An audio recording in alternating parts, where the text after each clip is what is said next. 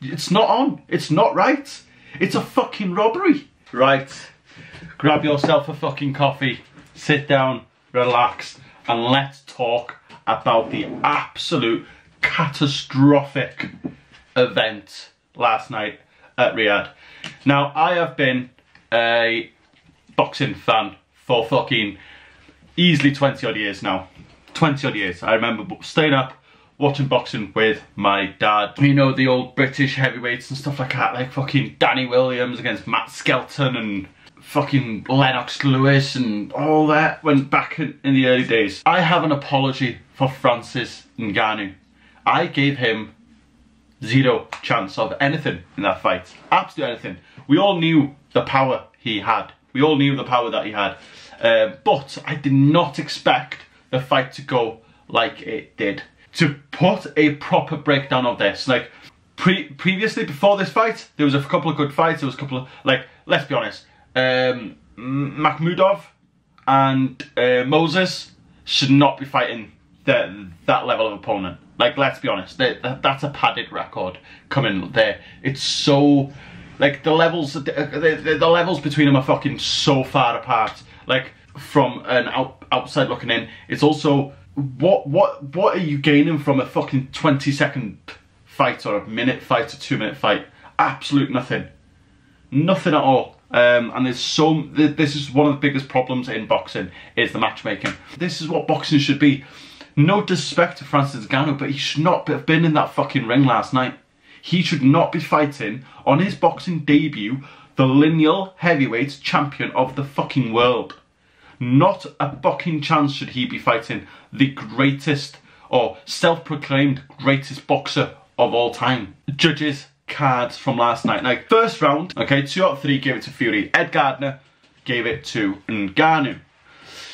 Uh, and then round two, once again, another close round, but then um, two out of three, once again, gave it to Fury. So we're seeing a pattern here. I know they're close fights, but I strongly believe going into the fourth round, Ngannou was 4-0 up, and that is with a knockdown. So, sorry, going into the fifth round, Ngannou was 4-0 up and with a knockdown. Juan Carlos Pavard, is it Pavard? Um, I'm going off the thing. I can't really uh, pronounce his name properly.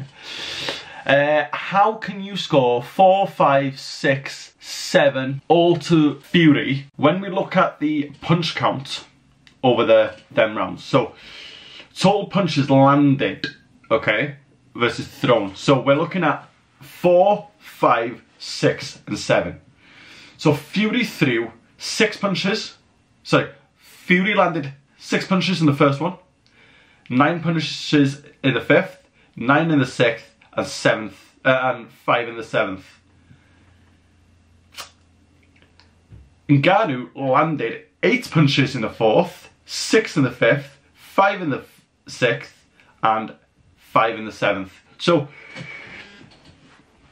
if you're looking at damage, Tyson Fury had more damage on his face. It, I mean, you look at power punches. Francis Ngannou landed more power punches in the first, in the fourth round. He landed more power punches in the sixth round.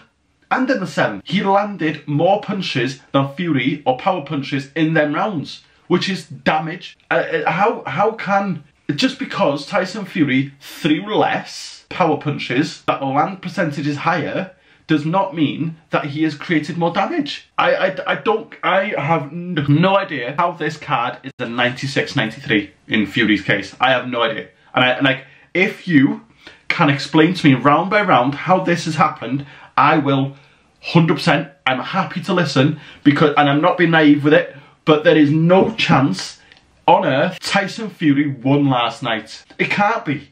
It cannot happen. It's a 10 round fight and at even best five rounds apiece and knockout knockdown makes it a 6-4 fight. Okay, I honestly a 95-94 in favour of Ngannou is the closest I, I I've got 96-93 Ngannou.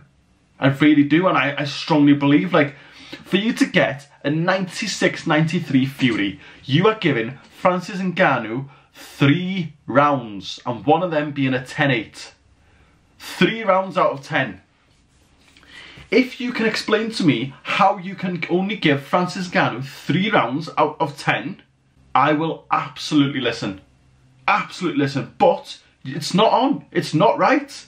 It's a fucking robbery. And I don't like that word. I think that word is overused in boxing, okay?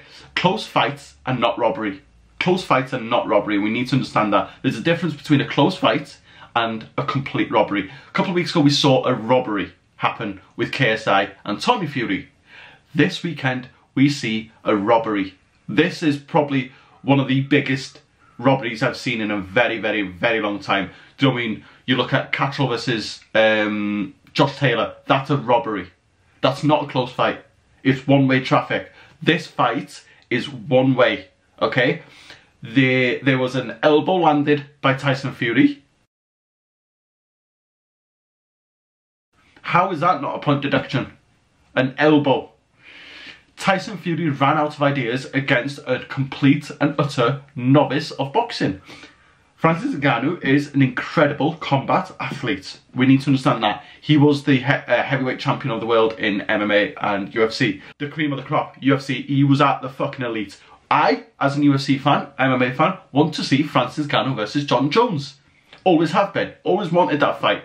I strongly believe that Jon Jones wins that fight because he, in my eyes, is the GOAT. But for him to solidify himself as the GOAT, he needs to beat Ngannou for Fury to announce himself as the GOAT, he needs to go and beat Usyk, Joshua, and possibly someone else who's up and coming or at that top doing. He needs to beat. That was not convincing last night, and we've got to understand. We've got to take away this fucking shit side of it of going. Well, it was no. That was poor. Okay, listen. Tyson Fury as a as achieved so much in his life, and we've got to understand this. He has achieved fucking tenfolds to what I might achieve um, when it comes to boxing.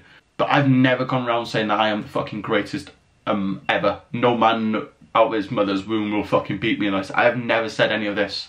Okay? There is a part where I believe that they did not take Francis Ngannou seriously at all. They did not take Francis Ngannou seriously at all. Tyson Fury landed two punches in that third round. Two punches. Why can we not class that as a 10-7? Why is that can't why can't we class that as a 10-7? Um, where Francis Ngannou landed fucking a lot more. He, he landed 10, 12 punches, is it? I, I, I, I don't get how this this has done more damage to boxing than any YouTube fight ever will.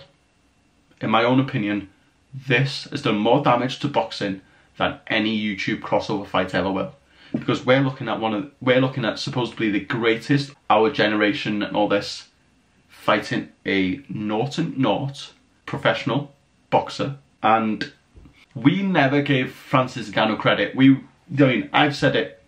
MMA fighters, hands gonna get tired, hands gonna drop, Fury's gonna box his head off. Francis Ngannou can't go there and try and outbox a boxer. He's gonna get his head boxed off, and I've said that on my previous video. But Francis Ngannou must have absolutely nailed Mike Tyson's brief. He's mocked us all with the, the pad footages.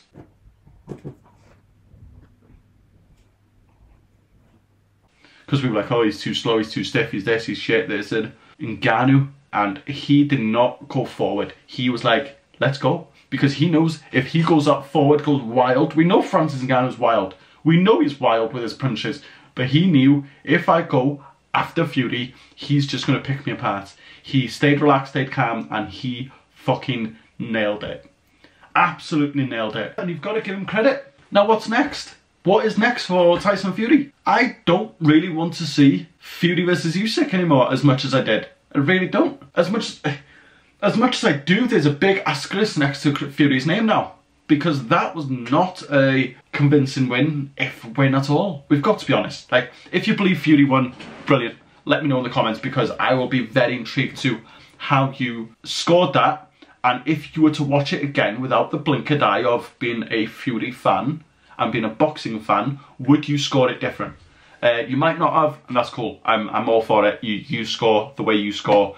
But in my eyes, I got Francis Ngannou three up going um, doing I him two rounds up and obviously the knockdown which was a 10-8 and a 96-93 in my eyes was a perfect thing or even a 95-94 in Ngannou I could also see that as well. But Ngannou uh, Fury versus Usyk. I think Alexander Usyk needs to make the noise now. I think this is his chance um, to dethrone Tyson Fury and I think Tyson Fury knows that. I think Tyson Fury knows that because last night they cancelled the press conference and all this. I think Frank Warren knew that. Frank Warren, at the end of the fight, said to Tyson Fury, you've got this. What's that about? What's that about, Frank? How do you know that he's got this? Why did it take so long for the judges' cards to be collected? Should not take long at all to fucking count 10 rounds, okay? Because the, the, rounds are already done. Doing they should they, they should be getting counted as we go along. But what we're not seeing is the, the total being added up as we go along. Not at all. We're not seeing that at all. And I, I don't I, I don't get it. I don't get it. Do you know I mean really don't? How can Francis Ngannou lose seven rounds? I can't get it. I don't get how Francis Ngannou loses seven rounds in that fight. I really don't. But Usyk versus Fury on 23rd of December will not be happening. And if you, just like me, a boxing fan, wanting that fight to happen, I'm really sorry to say that will not be fucking happening. Expected to be maybe into next year. I don't. I will be honest. I don't think that fight will ever happen. I think there's too much on the line for Tyson Fury to risk right now. I think he realizes that his inactivity is catching up with him. The celebrity Netflix star um, might be catching up with him and we are seeing a potential decline here and I think he will get out the sport before he starts losing and uh, gets a few losses onto his record and I think he'll want to keep that perfect record before facing Alexander Usyk.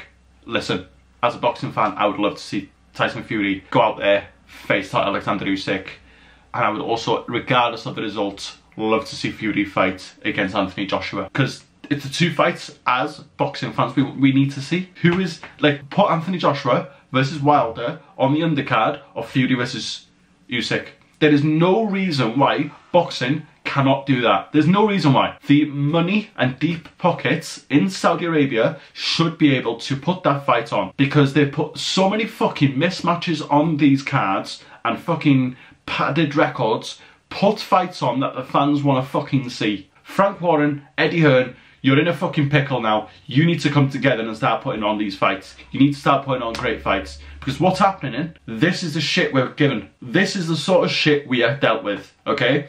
We have got a fucking, one of the allegedly greatest boxers of all fucking time facing against a zero and zero debutant boxing professional boxer. Like that should not, that's not fights we should be happening. Yes, the fucking, the star power that they both have is incredible, massive. But Francis and Ngannou should go up through the ranks. Face Fury later on when he's had a few fights, and I think they knew that, and I think they knew the, that the, the threat that Ngannou possessed. I also think that they massively underestimated Ngannou. And you've got to remember, Ngannou's used to taking fucking kicks and elbows to the face. A punch in 10 ounce gloves or 12 ounce gloves or 8 ounce, whatever they were wearing, 10 I think, is not going to create the same damage as a 4 ounce glove off a fucking heavyweight. And we've seen Francis Ngannou only lost on decision twice. Um, so as you can see, it's a bit of a doom and gloom for boxing, okay?